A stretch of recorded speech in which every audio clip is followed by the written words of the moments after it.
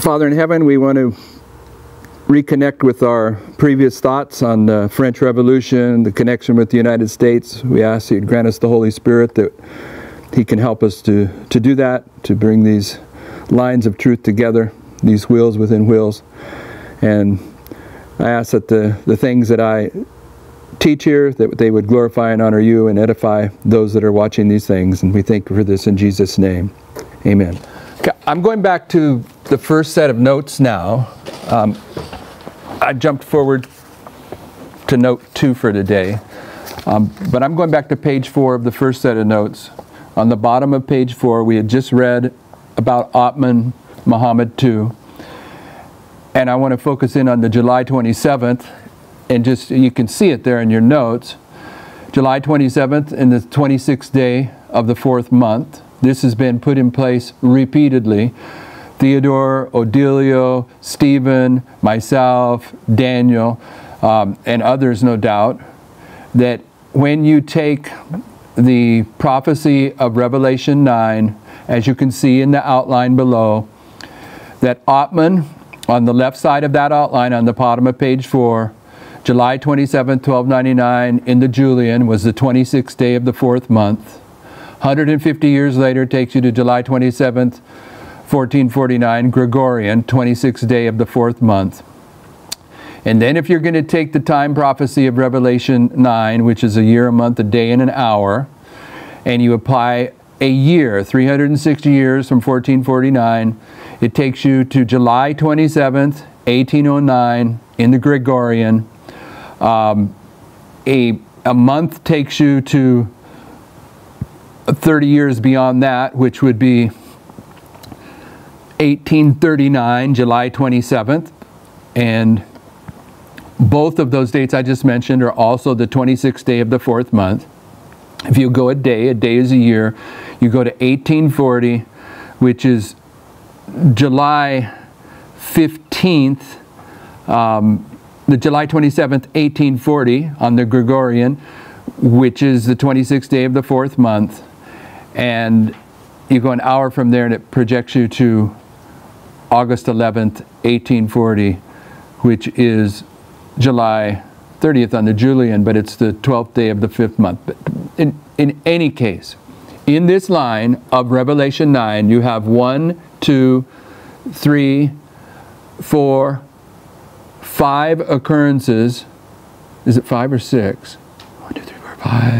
five occurrences of July 27th, and they're all the 26th day of the fourth month, and the historical events that line up with the July 27th of those years um, agree with the message of Revelation 9. It's absolutely impossible mathematically for this to happen. Okay, it just, it just the, the idea that the July 27th would happen five times in a row agree with prophetic fulfillment. And prophetic fulfillment mean the history that fulfills it speaks to the, the history that's identified in the prophecy that makes the prediction. The history and the July 27th would be virtually mathematically impossible. But when you add to it the third dynamic, that the biblical date of the 26th day of the fourth month also would line up with these five occurrences of July 27th, it, it's just not reasonable to think that this is a coincidence. It's impossible. Okay, so July 27th becomes a symbol of Islam upon many witnesses, um, and so does the 26th day of the, the fourth month. And on page five, just some of these mathematical um, observations in the box on the top of page 5. July 27th equals the 27th day of the seventh month. Okay, um, that's the European way to express it, by the way, right? We go November 27th, they go the 7th of November. Yeah, they go the, the date before the month day month year versus month day year. Okay, so, so, so that I'm just pointing. I, I get that. I'm pointing out for you. We're expressing it in the European fashion there. July 27th is how we express it, month day, but that equals 27 7. day month European. And then if you just turn it into a number, it's 277. And if you take the biblical number that lines up with July 27th, these five times in Revelation 9, the biblical number being the 26th day of the fourth month, it equals 264. Everyone with me? So if you take 277 and add it to 264, it comes to 541. And from 1840, if you subtract 1299, because it all begins on July 27th, 1299, and it ends on July 27th, 1840, if you subtract 1299 from 1840, it equals 541. Not only do you have this phenomenon of in the prophecy of Revelation 9, July 27th, matching the history five times, and that all five of those times it's the 26th day of the fourth month, you also have this. 27th. Did you say 27th? I said the 26th day of the fourth month in the biblical calendar. The, the, the numerical revelations from these numbers also speaks to that very same history. It's, it's beyond, it's beyond human. Okay, July 18th is, is the Midnight Cry, July 18th, 2020. And the European way to express it is not 718 like we would, 7 being July 18th, we'd say July 18th, but the European way is 187. Okay, 18th month of the 7th, 18th day of the 7th month, which is 187. So 277 from the above work, 277 times 264 equals 73,128. And if you divide it by 391, which is a symbol of Islam, the 391 years, it equals 187. And 187 is the 18th day of the seventh month, and it's July 18th. It's, pardon me? Amen. It's unbelievable. And, and 391 is, of course, found in Ezekiel's prophecy of Josiah, and it's found in Revelation 9, which was opened up by Josiah Litch. And 391 is repeatedly found in our history, in the footsteps of our history of this movement. And it's a symbol of Islam.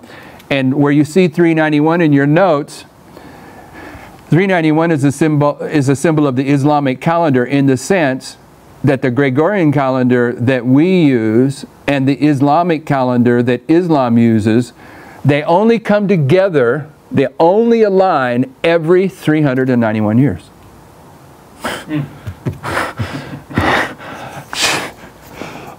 Some, someone named Palmoni was designing all this millions of years ago. Okay, 264. Now this one may be a little bit more difficult to follow, but it's just as profound. 264 is the 26th day of the fourth month. It's July 27th, right?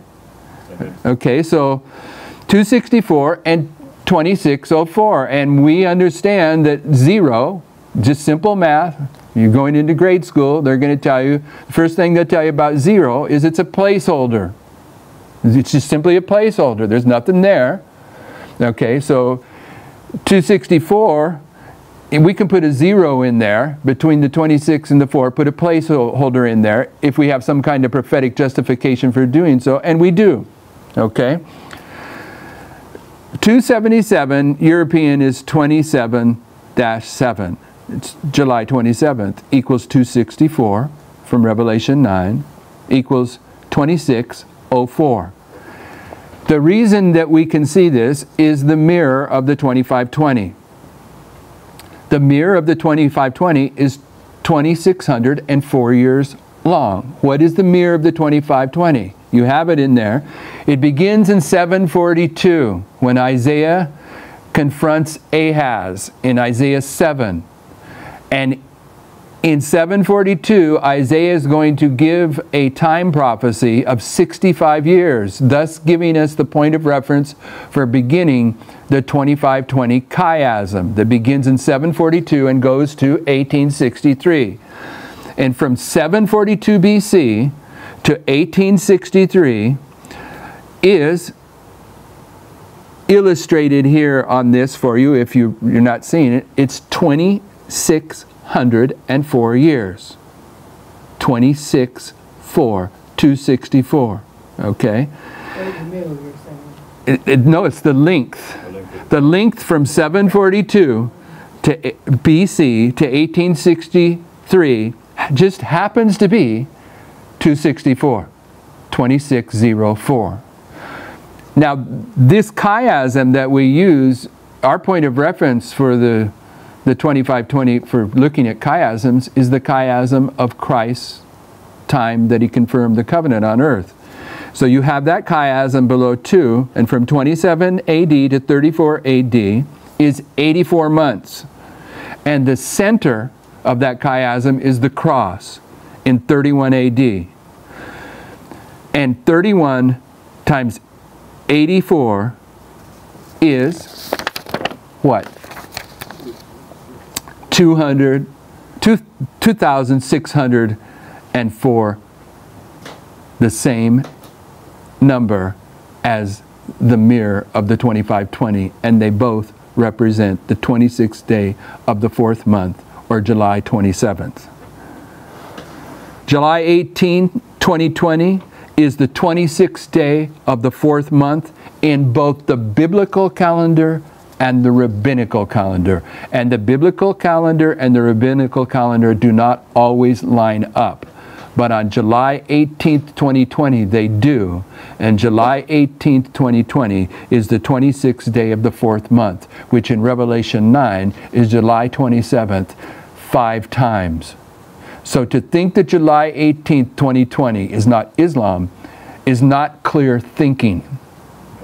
It's not clear thinking. Okay, so I'm putting that in place because July 27th is what? A symbol of what? Islam. It's a symbol of Islam at the simple level. So the fact that the State Department of the United States was began on July 27, 1789, all by itself should say, hey, there's some kind of connection with Islam in the United States. But the fact that 490 years previous to July 27, 1789, is the beginning of the prophecies of Revelation 9 on July 27, 1299. It's saying the United States has a connection with Islam that is profound and that it has to do with their probationary time. Their probationary time is being identified at the very beginning of the United States. And it's not necessarily a time, what is it? It's saying that the probationary time of the United States comes to a conclusion in connection with Islam. Okay, right?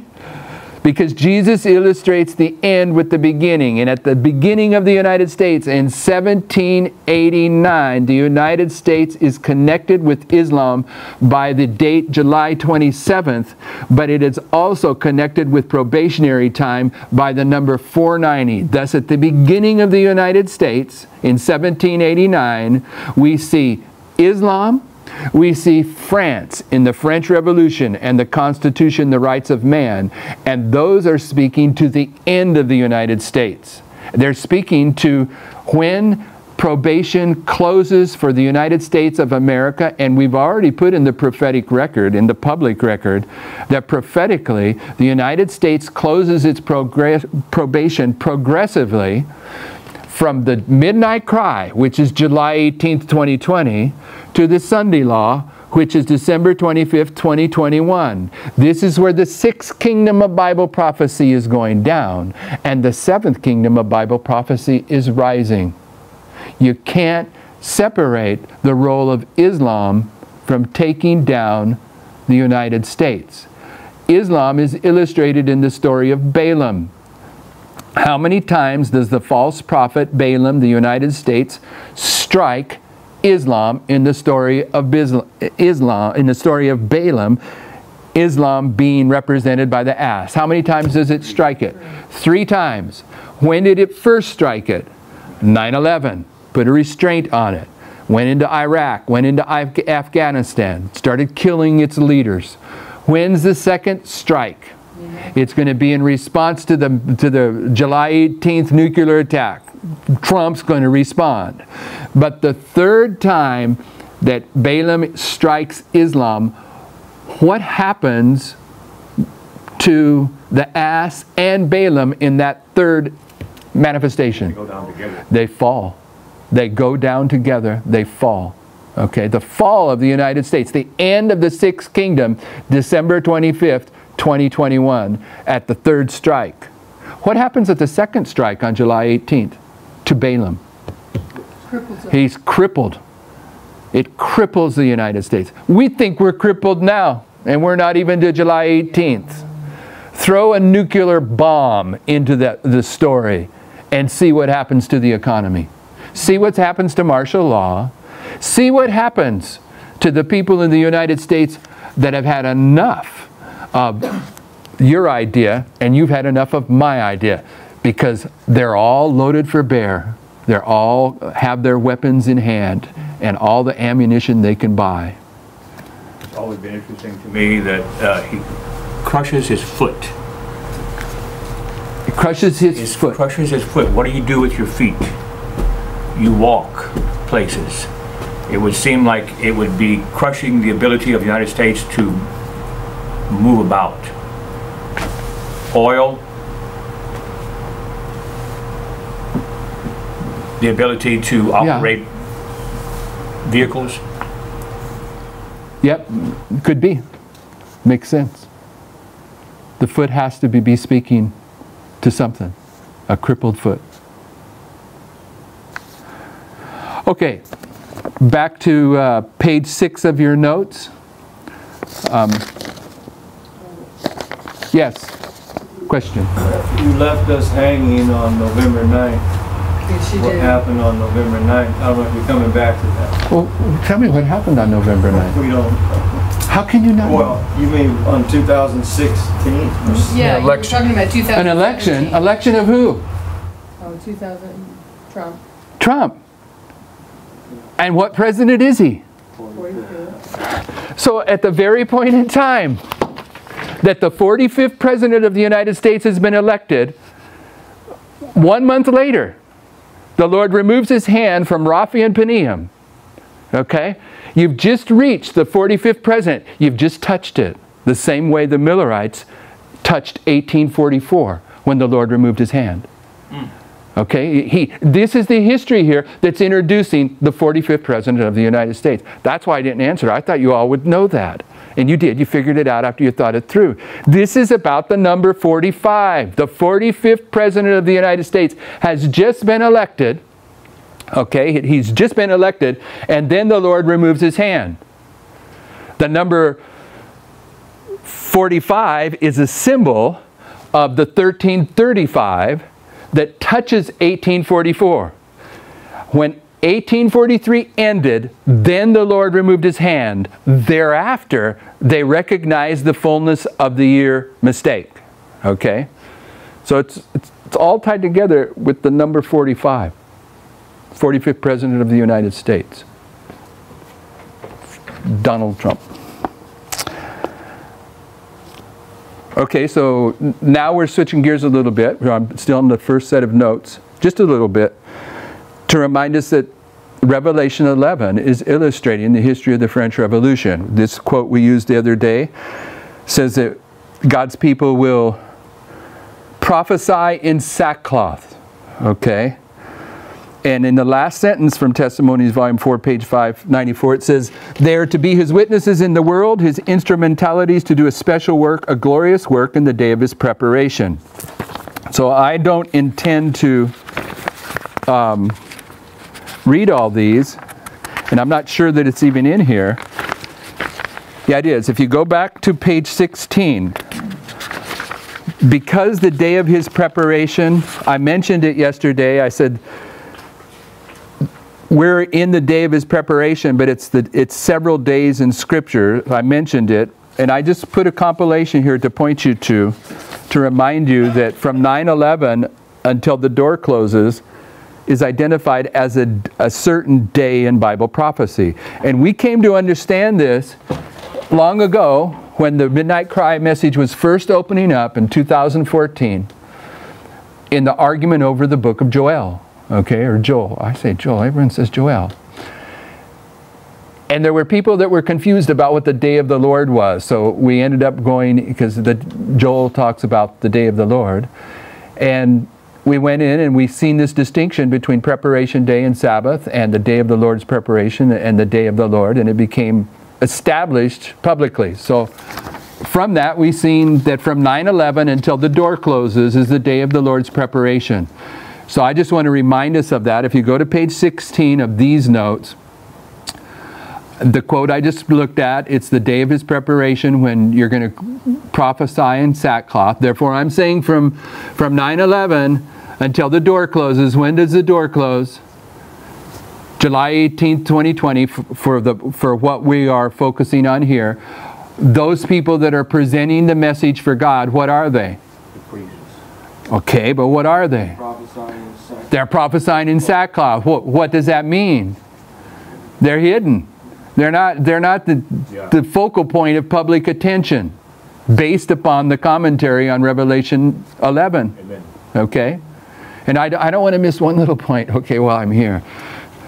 Revelation 11 is about the king of the south, atheistic France, right? And that's what we're dealing with. But we're also, we've tied together, 1789 ties together not only atheistic France with the the Declaration of the Rights of Man, the Constitution, the connection between Lafayette and Thomas Jefferson. The connection there is strong in the United States. But we, all, we have also tied together Islam, right? And the story of Islam and July 27th, where do we get that from? Revelation Revelation 9. 9. Okay, so the, the, the two lines that are speaking to the story of the Constitution is Revelation 9 and Revelation 11.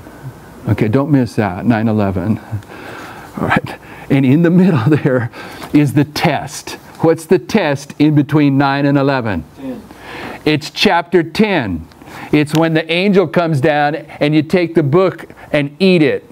Okay? It's the test that begins at 9 11 and whether or not we're going to take the message of 9 11 and present it. But if we do, how will we do it? We will do it in sackcloth. We will not be the focus of public attention until July 18th. Okay, now, next quote, Great Controversy. Hello. Um, I have a question. Okay. Good for you.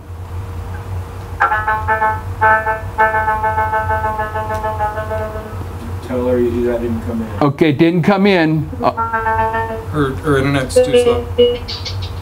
Your internet is too slow. Just get to it quickly. Uh, you, Go ahead. Go ahead say um, okay, let me just quickly say this.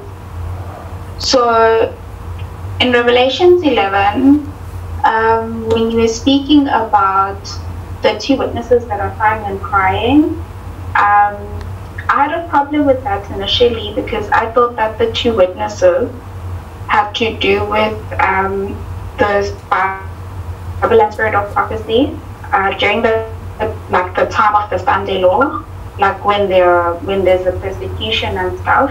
But then now I'm trying to reconcile that with the the thought and uh, I'm looking into Ezekiel chapter nine, I think. Um, and I don't know, but I'm trying to see if it, it fits. Does it fit with Ezekiel chapter 9? Um, I think it's verse 4, where it's speaking about the children of God that are sighing and crying for the abominations that are done in the midst thereof. I don't know. Um, yeah, I don't know. Could, could that be? Because that is speaking about the time of the sealing. Well, it's a sealing time period, and it's also speaking about the children of God um, and the abominations that they see within Jerusalem.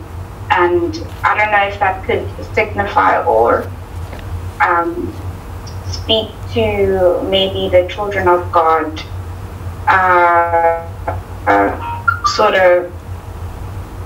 I don't know. yeah. Okay, you're making me sort out your question.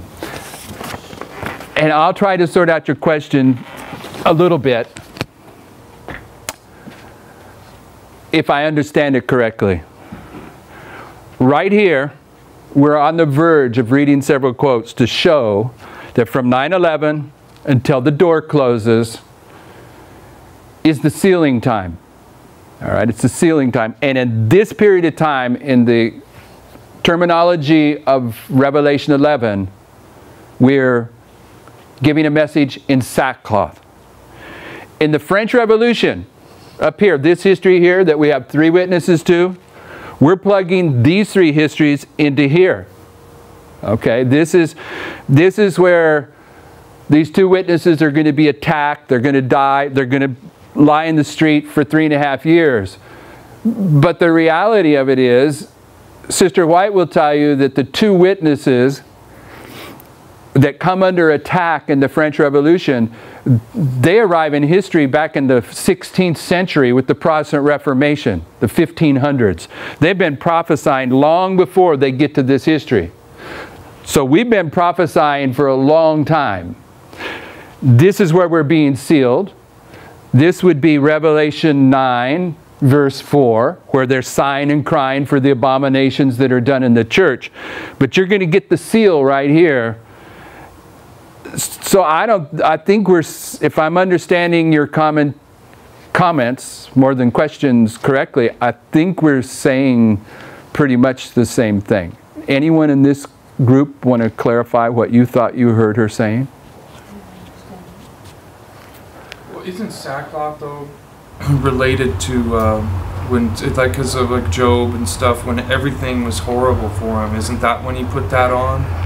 Sackcloth can be a symbol of sighing and crying in, in Ezekiel, but sackcloth, as we look at it in the time period of the French Revolution leading up to it, the Waldensians were sharing the message, but they were doing it secretly. They had sacks of things that they were selling, and in those sacks they had their biblical uh, manuscripts hidden. So when they went to Daniel and sold him a pot, and they saw he was willing to hear. Pardon me? And in their clothes. Yeah, and in their clothes. So, so sackcloth is can mean more than one thing, but for us, I'm saying that here, at this point, we're going to become the focus of attention because we are going to now. This is Elijah's offering. The distinction between the true and false prophet has been made. Now you're going to become the subject of, of the attention of the kings. But back in here, anyone that's watching what's going on now is saying, oh, this is just, it's just some offshoot of Adventism. Adventism has lots of offshoots. This isn't interesting. Take me to the next channel. Let me, let me point you to these things to move on. I don't know if I, is this Sister Mamela, I don't know if I, if I spoke to what you were asking or not, but I got to get through this. The events connected with the close of probation, the work of preparation for the time of trouble are clearly presented. This is one of the foundational points of reference in this movement. What, I'm on page 16 of the notes. 16? Yep. And I'm, I'm jumping forward to just touch briefly on the preparation day, and I'm saying that what leads to the close of probation is clearly illustrated in the scriptures. But what I want you to see here is that as she's making this, she's talking about the, the close of probation and the preparation work. Clearly revealed. There, the preparation work that leads to the close of probation is clearly revealed. And then in Testimonies, Volume 5, Page 214 and 216, when the Sunday law decree, when the decree goes forth and the stamp is impressed, their character will remain pure and spotless for eternity. When the door closes, probation's closed, you have to do your work of preparation before the door closes. And when the door closes, you get the seal. We're in the sealing time. The seal is placed when the door closes. So, 1533, I'm saying that the day of preparation is from 9 11 until the midnight cry. That's the preparation day that leads to the day of the Lord. okay, when probation is closed. And in Deuteronomy 15, um, verses Deuteronomy 10, verse 4, and chapter 18, verse 15 through 22, it talks about the day of assembly. And the day of assembly was the day that they assembled to receive the law. And when was it that they received the law at Sinai, at Horeb? It was in 1533 BC. okay? And this is verse 4 of chapter 10. And he wrote on the tables, according to the first writing, the Ten Commandments, which the Lord spake unto you in the mount out of the midst of the fire in the day of the assembly. Okay, then if you go to chapter 18, verses 15 to 22, it says, The Lord thy God will raise up unto thee a prophet from the midst of thee of thy brethren, like unto me. Unto him shall you hearken, according all to all that thou desirest of the Lord thy God in Horeb in the day of assembly, saying, let me not hear again the voice of the Lord my God, neither let me see this great fire any more, that I die not. I have this entire passage because it's a familiar passage with us. This is Deuteronomy 18 18 we refer to. But what I'm saying is, we know that from August 11th, 1840 to October 22nd is 1533 days.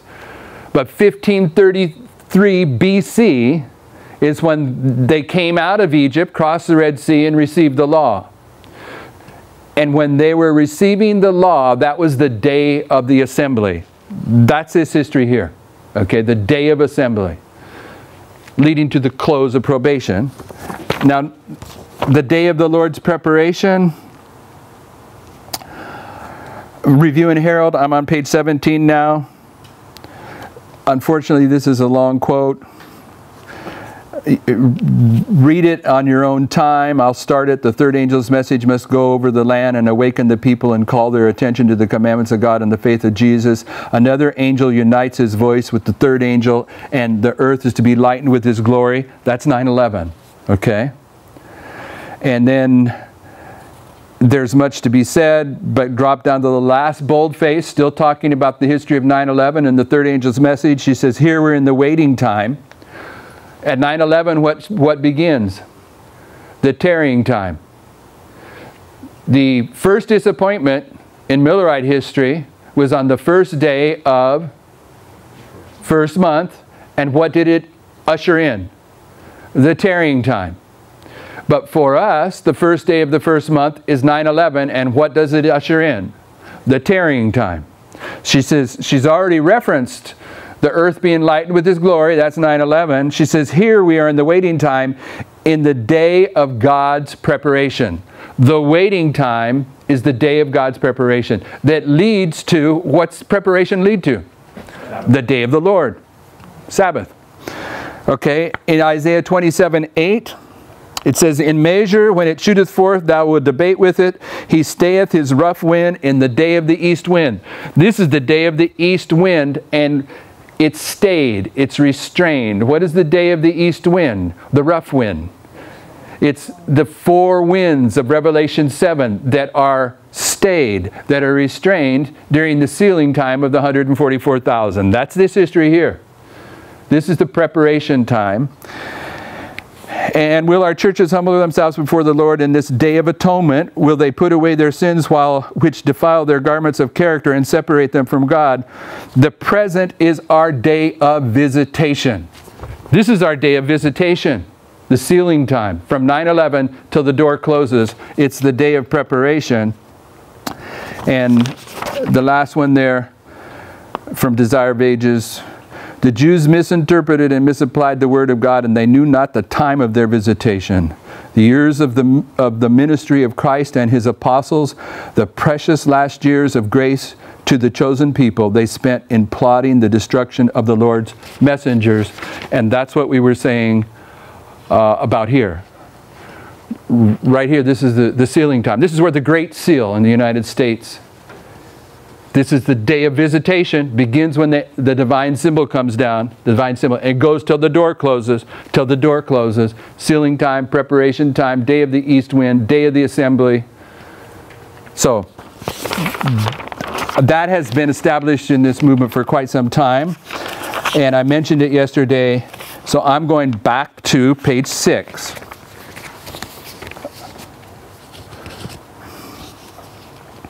An earthquake.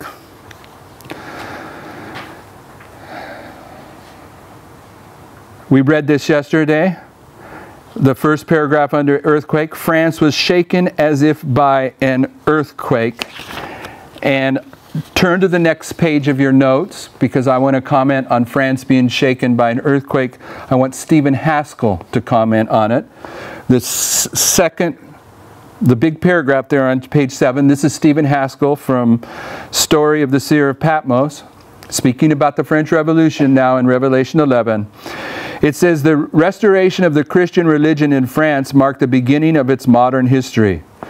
The revolution of 1798, you notice the historians say 1799, but he's, he's placing his emphasis where I place my emphasis too. I agree with him, 1798. Okay, but inclusive, exclusive reckoning, it's 1799. But he's saying the revolution, he's marking it as ending in 1798 at the deadly wound.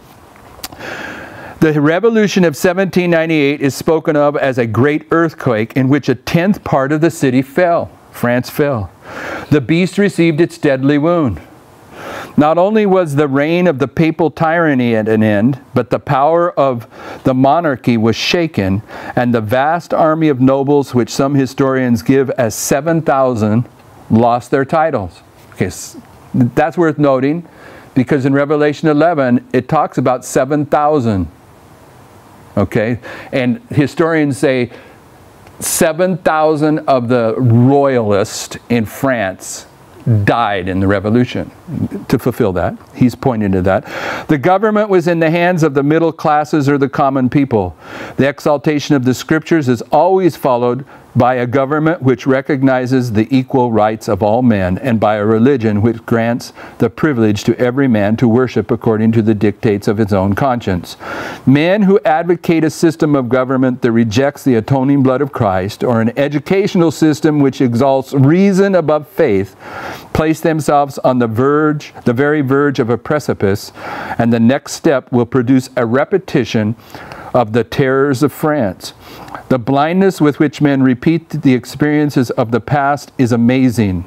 The Jesuits may not be responsible today for the trend which many public institutions are taking, but without doubt, the method the Jesuits used are repeated in the 20th century. Amen. I'm going to kick it up one century, are repeated in the 21st century. Education, which leaves out God, is putting the government in the hands of statesmen who will eventually exalt the God goddess of reason. Okay, so I, I, want you to see that this is standard Adventist understanding to associate the Jesuits with the attack against truth here in our history. Nice people. Yeah, they were did everything open. Oh, we were yeah, told. there's open in there. Okay, so um, so there was a, what I'm saying is in this history of the French Revolution, there's an earthquake and there's darkness, and now I'm going to mark. I'm going to page six, Mark 15:33. Turn to Mark 15:33. And Stephen, Odilio, others have put this in place, but it needs to settle in deeply verse 33 of Mark 15, and of course we are saying yes, 1533. And when the sixth hour was come, and there was darkness over the whole land until the ninth hour. So 1533, we're identifying that this is the sixth hour, and this is the ninth hour as we proceed, that the midnight cry, the Sunday law. Verse 34, and at the ninth hour, Jesus cried with a loud voice, saying, Eloi, Eloi, lama sabachthani, which is being interpreted, My God, my God, why hast thou forsaken me? What do you have there? You have a double doubling. Okay, so here, he has a loud cry. Over here, we have a midnight cry. Because he illustrates the end from the beginning. Okay, sixth and ninth hour. Um, and some of them that stood by when they heard it said, Behold, he calleth Elias. And one ran and filled a sponge full of vinegar and put it on a reed and gave him to drink, saying, Let alone, let us see whether Elias will come to take him down. And Jesus cried with a loud voice and gave up the, the ghost. Okay, so he cries again with a loud voice, gave up the ghost. Sixth, ninth hour. Now to your your notes, we read this, I believe, yesterday. We have darkness from the Bible, but you have a quote there from Review and Herald. And what I'm wanting you to see now is the quote from Selected Messages, Book 3, page 387. page 6 of the notes. America where the greatest light from heaven has been shining upon the people, can become the place of greatest peril and darkness because the people do not continue to practice the truth and walk in the light. When does the United States become the place of peril and darkness? At the Sunday law. This is a Sunday law. This is the first Sunday law. Darkness this is the second Sunday law of Daniel 11, verse 41. There's going to be darkness here too. Where does America become dark? Right where the French Revolution became dark, right where darkness came into the story of Christ between the sixth and the ninth hour. Okay, this is darkness happening here because of the light rejected. And there is an earthquake. The earthquake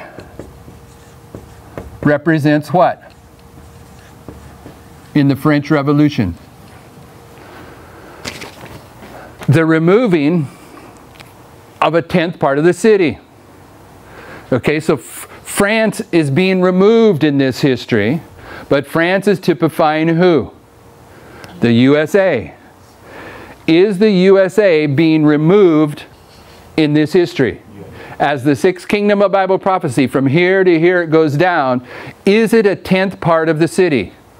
Yes. It's, it's the premier player of the United Nations even now, but here it's even going to take a more secure uh, control of it, okay? So that's the earthquake and darkness. And we just read um, Haskell's commentary. So now I, I broke this. That's where I ended these notes. That I, and they didn't get sent over that way. I sent them over wrong. We are done with notes number one. And now we're on notes number two, and I already started into notes number two in the last presentation. So we'll, we'll trudge through this a little ways, but we'll, we begin on the top of page one of today's second notes. And it says Daniel's three touches. And Three touches Daniel. three touches, Daniel 10 19. Okay. and there's, there's, there's a couple things going on in this verse. It says, Then there came again and touched me one like the appearance of a man, and he strengthened me, and said, O man greatly beloved, fear not, peace be unto thee. Be strong, yea, be strong. And when he had spoken unto me, I was strengthened. And I said, Let my Lord speak, for thou hast strengthened me. So this is the third touch in Daniel 10. But this is where we see the doubling of be strong, be strong, which is, what do we identify that as? The doubling. Midnight. Midnight cry. So Daniel has taken three touches to get to the midnight cry. And we understand that Daniel 10, that, that here Gabriel's going to open up to him the whole story of Daniel's last vision. And what begins in Daniel 11 is the story of the 45th President of the United States. Right? I mean, it, there's some preliminary to get there, but that's where it takes you to. So, where does he take him in that context? Gabriel comes, He's touched him twice. He's at the midnight cry. He opens up the 45th President of the United States What does he open up to him? The blessing. He's opening up the blessing of the 1335. Trump, this history is touching, okay? It's the 1533, the 1335. This is where the blessing comes. So Daniel's being blessed. He's been told to be strong, but how many times do we find strengthened in that verse? Five times. It gets translated twice as strong. Be strong, be strong. Therefore, we see the doubling. But it says outright, He strengthened me, and I was strengthened, and for thou hast strengthened. But the word strengthened is the same word as strong. So if you're just looking at the Hebrew, five times are strengthened. Who's strengthened there? The five wise virgins that Daniel is represented, representing. And when are they strengthened? They're strengthened at the third touch, at the midnight cry. And this takes me back, this takes me back to Gideon.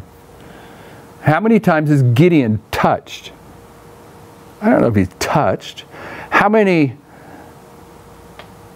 divine interactions does Gideon have?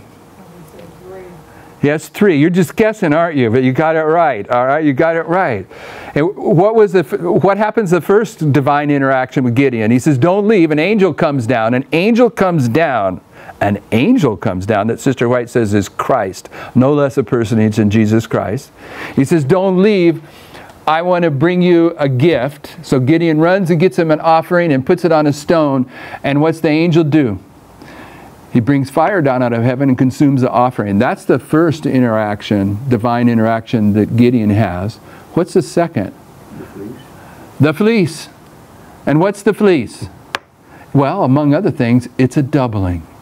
Is it not? Because Yeah. he doesn't like it the first time. He doesn't, he, he, was, but he lacks faith all the way through. Show it to me, Gimmet, show it to me in reverse. And what's the third? When he goes into the camp. Goes into the enemy's camp. And, and where does he get touched there? With the book of Daniel. What is that? Those three touches are the three steps of the three angels' message. The first one, he fears. He can, he can get into Gideon. He fears that angel. Okay, when he first meets that angel. And before the angel leaves, he gives Gideon a command. What's he to do? This would be 9 11. What's he do? He says, Go tear down my, your, your dad's altar to Baal. And at 9 11, what was the altar of Baal that we had to tear down? What did we have to do at 9 11? What'd you say? Go back to the old paths. No, I thought, Go back to the old I thought he tore it down in the middle of the night because he was worried. Yeah, Yeah, he was he's scared all the way through. Yeah, he tore it down in the middle of the night, no doubt. B- but he had to go back to the old paths. And in 9/11, we had to go back to the old paths. What did we have to tear down? Oh, the old, I mean, not not the old, but the, the new path. I don't know. The the false doctrine that had come into Adventism. Did Sister White say anything about doctrines being this this as useless as the idols of Baal? Ah, yes. False doctrine is a, a, an idol of Baal. And at 9 11, the people that returned to the old past, they had to tear down the Adventist theology that they had taken from Catholicism and apostate Protestantism and returned to Miller's approach to God's Word. Okay? Yeah, many things, line upon line.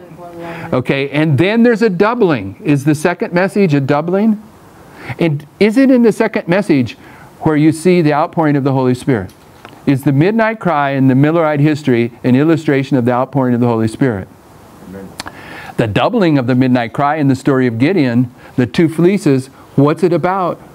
The water. Who gets the water and who doesn't get the water? And what's in that story? Two classes of worshipers, because in the second angel's messages, the two classes are, are manifested. Before the door closes at the third. Where's the door close? January 11th, when he goes down into the enemy's camp and he sees the dream and the interpretation of thereof that opens up the blessing of Daniel 11. Okay, so this is big stuff. This is speaking, this is present truth. This verse 19 of chapter 10 of Daniel. Okay, we walked through. The blessing is coming to the history of Donald Trump, if you want to say it that way. Coming to the 45. Blessed is he who waiteth and cometh to the 45, to the 1335. Subtract 1290, 45. When you touch that, Donald Trump comes into history on November 9th, 2016. If we're going to see this blessing, we have to see, the Lord has to remove his hand. And in, in a, the next month, he removes his hand from Raphia and Panium. And Raphia and Panium are giving us the dynamics that all of Daniel 11, 40, 45 is structured on. And the dynamics are first, the king of the south wins. Second, the king of the north wins. And it's the key that opens it all up. Whether you're looking, Comment? pardon me, Comment? go ahead. Um, Gideon's fleece is the second, it's in the center. It has to do with a lamb being slain because a fleece is a lamb, so it's the cross and it's structured chiastically. So that's another confirmation. Good on you. Amen. I see it. I get it. Um, yes. Okay. So now um, the blessing was coming to the history of, Dan, of, of Donald Trump. Okay. in Daniel 12, 12 is where this promise is, and of course 12, 12, 12. It's a doubling, and it's the 144,000. And Raphia and Panium is the key that opens this up that we were supposed to begin to really study in Daniel in in December of 2017 and onward um, but we didn't. We got waylaid and, and I, I was saying that that was a, a, a it's a year later not a month later okay so Daniel asked this question af- after the last presentation. I'm going to walk through this very quickly with you. The question you'll see as we go through. Under church and state, I've already went through these, these ramifications of 45. Under church and state, on page one of your notes, go to Zechariah 1. And the, I'm still dealing with the story of the king of the south, but you can't deal with the story of the king of the south in Daniel 11 without it intersecting with the other kingdoms. You got the kingdom of the dragon, the king of the south, the kingdom of the papacy, the beast, the kingdom of the false prophet, but you got the kingdom of the 144,000. And the storylines of the kingdom of the 144,000 is prophet, priest, and king. The king is the throne of David, the story of King David. Uh, the priest is the story of the temple. Okay, and that's where we're coming up with this 15.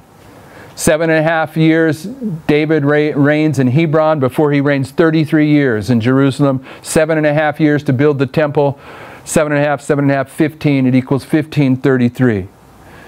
But we know from Ezra 7 9, where the midnight cry message opened up to this message, that Ezra gets to Jerusalem at the midnight cry on the first day of the fifth month, on August 15th, 1844. So the, the, the waymark, yep. The seven and a half and the seven and a half, they run concurrently or you're just laying them? They run, con- they run concurrently. They run concurrently, but I'm adding them. understand. I'm adding them in spite of the fact that they run concurrently. Okay, thank you. In on 9/11, we were to lay the foundation of the temple and build the temple of the Lord. Okay, so it took seven and a half years for Solomon to build the temple.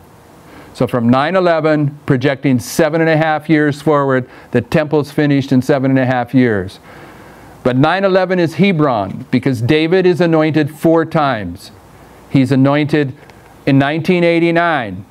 He's anointed at 9/11. He's anointed at Jerusalem, the midnight cry, and he self anoints himself at the Sunday law. So David was anointed at 9/11. That's when the horn of David begins to bud. But he's going to there he's anointed over Hebron and he rules for seven and a half years. But when he gets to his third anointing, which is Jerusalem, he's now anointed over all of Israel. This is where the Levites join the priests. David is king over the priests from 9-11 to the midnight cry for seven and a half years. But then he's king over the united Levites and priests all the way to the Sunday law. Okay? And he reigns there for 33 years. So in Zechariah 1, verse 13 through 17, it says, And the Lord answered the angel that talked with me with good and comforting word, comfortable words, so that the angel that communed with, communed with me said, Cry thou, saying, Thus saith the Lord of hosts, I am jealous for Jerusalem and for Zion with great jealousy. Why is he jealous? And I'm very sore displeased with the heathen that are at ease, for I was but a little displeased, and they helped forward the affliction. Therefore, thus saith the Lord, I am now returned to Jerusalem with mercies. My house shall be built in it, saith the Lord of hosts, and a line shall be stretched forth upon Jerusalem. Why is he jealous for Jerusalem? Because the image of jealousy has been set up. He's dealing now with four generations of rebellion.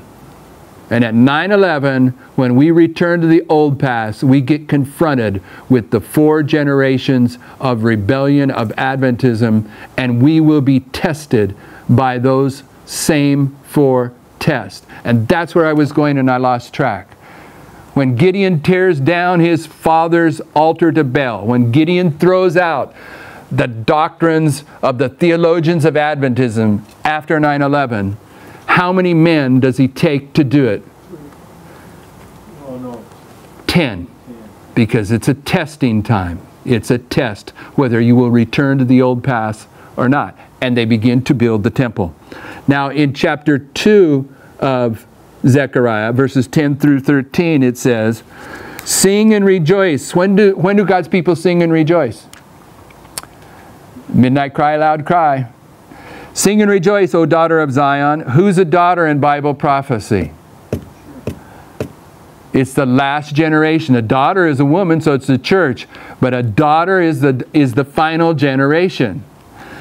Um, Sing and rejoice, O daughter of Jerusalem, for lo, I am come, and I will dwell in the midst of thee, saith the Lord. And many nations shall be joined to the Lord in that day, and shall be my people. And, and when do people join? They join at the midnight cry. Yes. The Levites join at the midnight cry. They join at the loud cry, the Nethinims. In both places you're going to sing because one's the midnight cry and one's the loud cry. Okay? And thou shalt know that the Lord of hosts has sent me unto thee, and the Lord shall inherit Judah, his portion in the Holy Land, and shall choose Jerusalem again. When does the Lord choose Jerusalem? On the first day of the fifth month at the midnight cry. Jerusalem is chosen. Okay? It gets built for seven and a half years, and then the Lord chooses, and the throne of David is established. And it is lifted up above all the mountains at this point. It becomes the ensign that is lifted up. First in the United States, and then in the world at the Sunday law. Isaiah 2. Isaiah, go to Isaiah 2. I know you know this, but it, it's not just a, a nice poetic connection. It's absolutely airlight, airtight truth. Verse 2, Isaiah 2 2. And it shall come to pass in the last days. When? In Isaiah 2 2. Midnight cry time period. Midnight. Why are you saying midnight cry time period? Doubling. Because the doubling. Oh, is that what you're going to say? You're going to go with that? Yeah. Okay, I, I, I, is that what 2 2 represents? What about 220? What about 220? He is now chosen Jerusalem again. It is restored. 220, 22. And it shall come to pass in the last days that the mountain of the Lord's house shall be established in the top of the mountains and shall be exalted above the hills, and all nations shall flow unto it. And many people shall go and say, Come ye, and let us go up to the mountain of the Lord, to the house of God of Jacob, and he will teach us his ways, and we will walk in his paths. For out of Zion shall go forth the Lord, the law and the word of the Lord from Jerusalem. Okay? He's choosing Jerusalem at the midnight cry and he's lifting it up above all the hills. Why? Because they're the ones that predicted the Lord's judgment that just took place and shocked the entire world. Well, also one of the comments that Sharmila made on here was the was 2020 is also a 220. Just take out that first zero. 2020. The year. This is the Oh, yeah, yeah. 2020 is, if you drop that first zero, is a 22, 220, yeah. This year is, is when it gets lifted up. No, she's saying four times five, 45. Four times five is Is 20. 20. Then you take 20 equals 2020. And then she said. What? That's Four what she- times five. I get 4 times 5 is 20. And she says 20 equals 2020. She's adding, she's doubling it. Okay. And then she's saying that 2020 equals 220. 220. yeah. I only mentioned That's- one that made sense. Okay.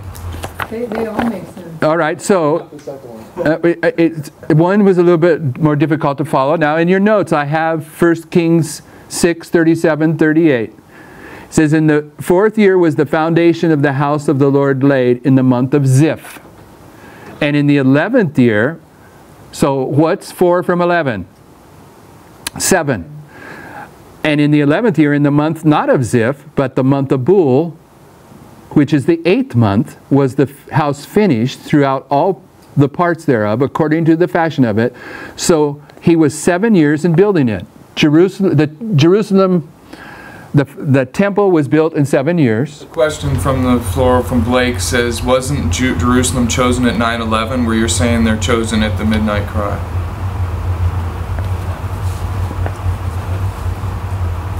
I He's building Jerusalem. I don't care if I- I- maybe he's choosing Jerusalem at 9/11, but Jerusalem is chosen as the ensign And that's- at the midnight cry, that's for- based upon Ezra 7 9. Okay, I'm just, I, I'm, almost every uh, symbol we deal with is progressive.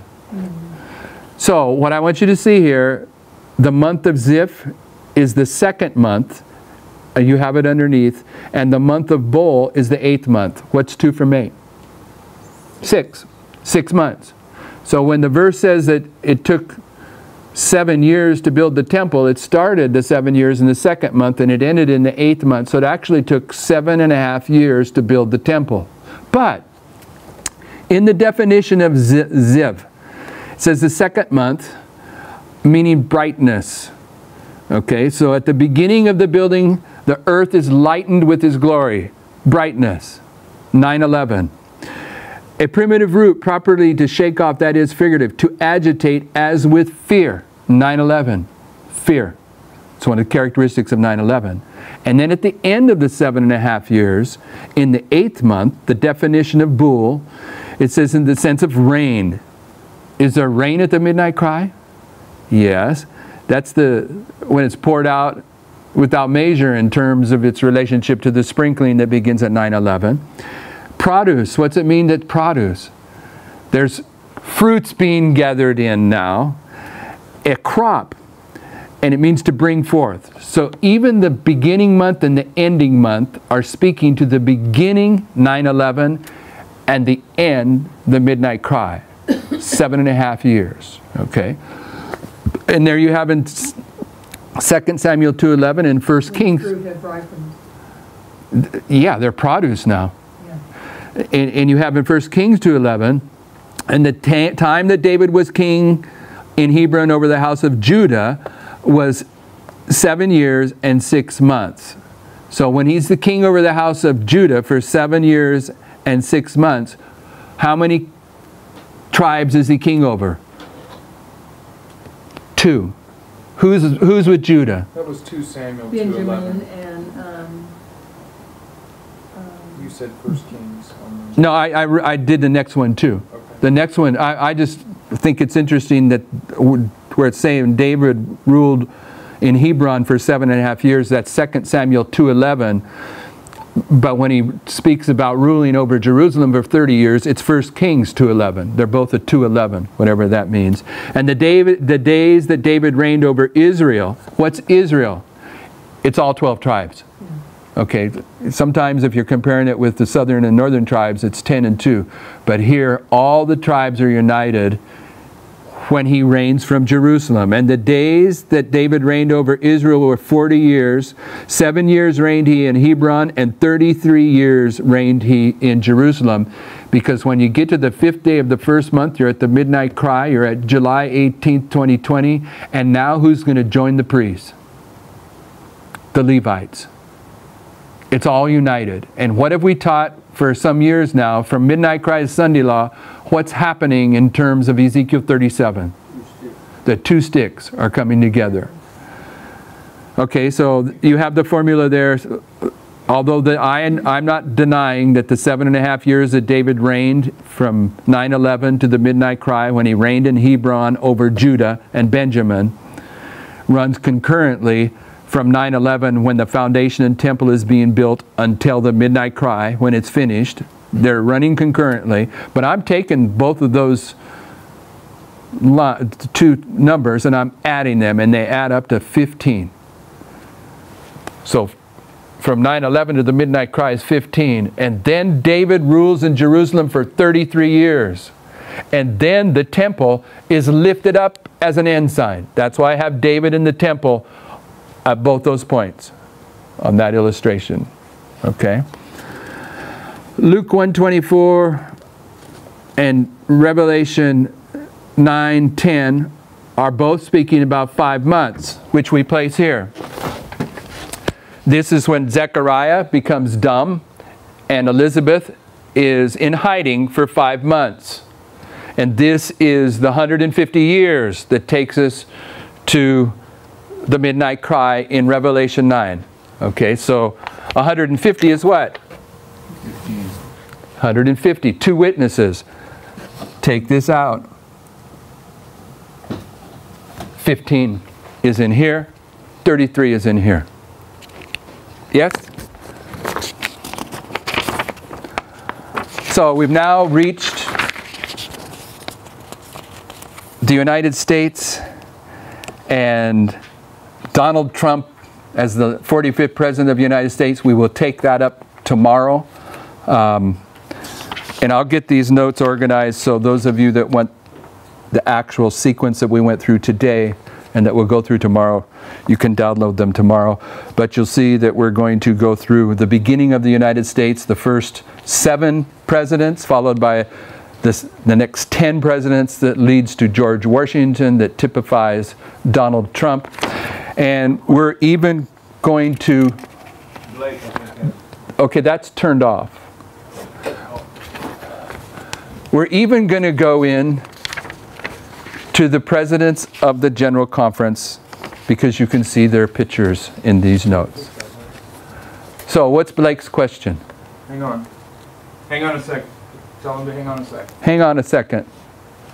To wait for that to come up. We are in a Tarian time for Blake's question. All right. Go ahead, ask it. Oh, Yeah, thi- no, I, this I'm isn't hoping this isn't Blake. This is Thomas. There's Thomas Blake. Yes. Um, I hope I didn't throw you off when I asked about 9/11, um, but uh, obviously I've always understood 9/11 to be the time where the, the priests were chosen. But then, judging by what we've just gone through, does it make sense that this at um, at the midnight cry, uh, July 2020, would that not be the Gideon experience where majority of the people are cut down? So 300, because you stalled. You haven't been keeping up with things. Okay. That bad on you. Now I can say that to him because I've known this brother since he was really young and now he's got a family. Let me show you. You brought up Gideon. Yes? Gideon goes through how many purgings? Two. Okay. Okay. What's the first purging? It's right here at 9/11. From 30,000. From 32,000 Ah, down to 10,000. Okay? Right here, 22,000. Turn back. What's 22? Restoration. Restoration. Okay? The Lord now is restoring. He, he's taking the beginning of Adventism, a movement, and he's restoring a movement because he's going to finish this work the same way he began it. He began it with the movement, it ends with the movement. In between, the movement becomes a church, but the church being passed by right here. 22,000 are left in the dust. 10,000 go into this history. 10 being a symbol of what? A test. They're going to be tested. Right? What are they going to go? To? They're going to go down to 300. Yes? What's, what's 300 from 10,000? It's 9,700. They went down to, nine, to 300 on September 7th, which is 97. On September 7th, 2019, the movement, the testing of the movement was over and it went from 10,000 down to 300. This is also this is also evidenced by the math. The math tells you that November 9th is 63 days after September 7th. And 9 times 7 is 63. It's also attested to by the story of Jeroboam in 1 Kings 13. 1 Kings 13 took place in the year 977, and September 7th was on the Sabbath. So it's 977. That's amazing. It, it's amazing, but the 300 is put in place from September 7th. And from September 7th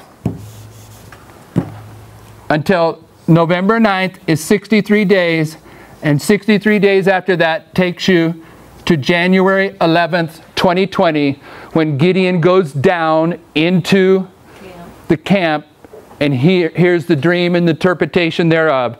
This is the chiastic structure of midnight. Okay, this is you. You haven't been keeping up. You need to catch up. Get online. Hello. Hello. Um, can I just add something? I don't know. Go for it. Um, when we look at the line of, I'm looking at that line which says 9-11, then I cries under law, and I'm open to correction, but um, I just, I was trying to plug in 508, 538, 1798. Um, well, obviously the 538 and, um, and oh, well, it lines up with the midnight cry. So 538, ah, 538 being the time period where the Dark Ages actually began, and um, 1798 being the time period where it ended. I don't know. I'm open to correction, but In, I was just thinking. have you been listening all day long? Uh, yeah. Okay, th- this morning I mentioned that I didn't have my page one. And on my page one, I have 508 right here at the midnight cry, and 538 right here, and that makes 1798 the close of probation. Okay? And Okay. it, this is this is a, we've had this in the public record for quite some time. This is airtight. This is the first Sunday law in 508, the Sunday law of Constantine. This is the, the Sunday law of the, the Synod of Orleans in 538. This is the Sunday law in the United States. This is the Sunday law in the world. This is the universal Sunday law where probation closes. So yeah, you're right on target there from what I understand. So 538 is, is Um, Christmas. also, the you said something about seven thousand. Uh, and um, I was just thinking like the seven, the seven thousand could go with the The leap, the seven, yes, the Levites.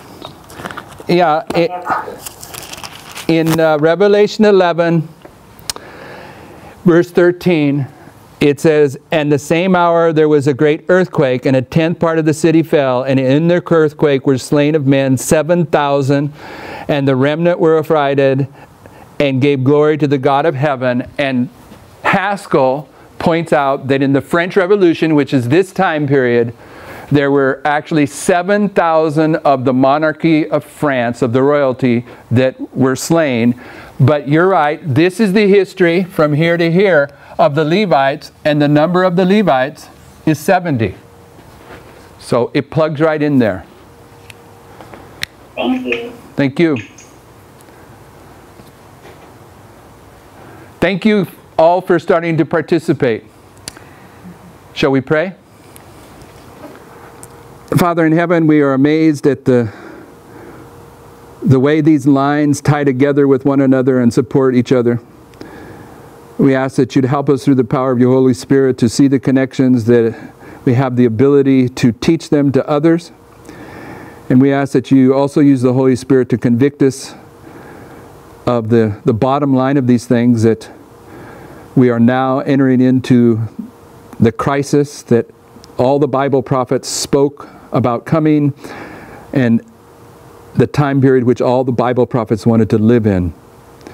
Help us get our houses in order, our hearts and our minds in order, uh, that we can be tools in your hands during this time. We ask a blessing upon the work we're doing here, and we thank you for these things in Jesus' name. Amen.